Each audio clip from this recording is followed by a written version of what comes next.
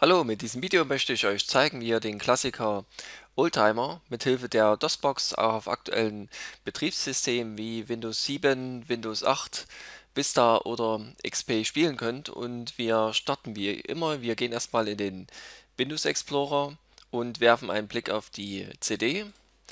Und ihr seht jetzt hier, wir haben hier die Install Batch File.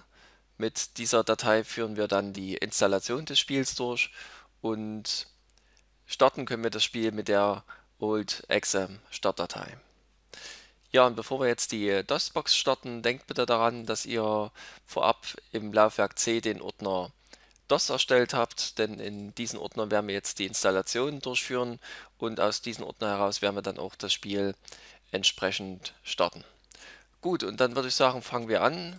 Wir starten die DOS-Box und mounten wie immer erstmal die Festplatte.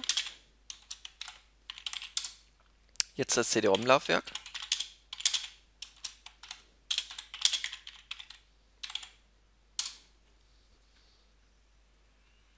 So, und ähm, denkt bitte daran, sollte euer CD-Laufwerk nicht den Laufwerksbuchstaben D haben, dann müsst ihr diesen Buchstaben entsprechend anpassen. Also bei mir ist das CD-Laufwerk mit D bezeichnet, darum gebe ich das auch so ein. Wenn jetzt euer Laufwerksbuchstabe für das CD-ROM-Laufwerk E, F oder G ist, dann müsstet ihr das hier entsprechend ändern. Also hier vorne das D bleibt immer und hier müsstet ihr den Buchstaben entsprechend anpassen. Gut, jetzt äh, wollen wir auf die CD zugreifen mit D Doppelpunkt und starten jetzt die Installation mit dem Befehl install.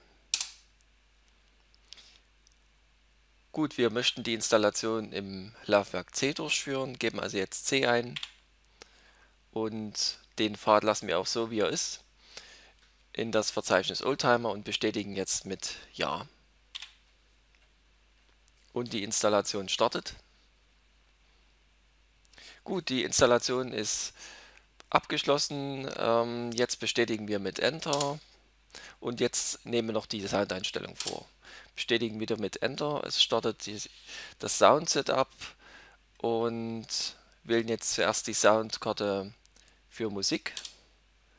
Dann nehmen wir die Soundblaster 1.0 und das gleiche für die Soundeffekte. Hier wählen wir wieder die gleiche Soundblaster Soundkarte aus. 220, IAQ5 und DMA1 lassen wir alles so wie vorgegeben und gehen jetzt auf Einstellung speichern und Setup verlassen. Bestätigen das mit Enter und wir könnten das Spiel jetzt schon starten mit dem Befehl Old und ich würde euch aber nochmal zeigen, wie ihr das Spiel dann beim nächsten Mal starten müsstet, beziehungsweise welche Befehle ihr in der DOS-Box eingeben müsst, denn die Installation müssen wir ja nicht nochmal durchführen. Und ich starte die DOS-Box jetzt wieder neu. Wir mounten wieder die Festplatte. Jetzt das CD-ROM-Laufwerk.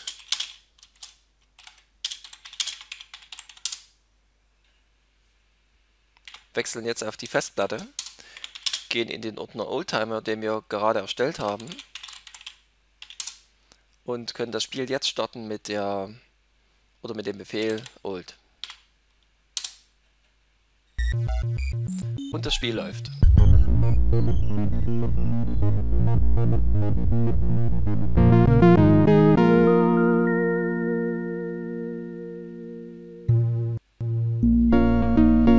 Ja, dann wünsche ich euch viel Spaß mit dem Spiel.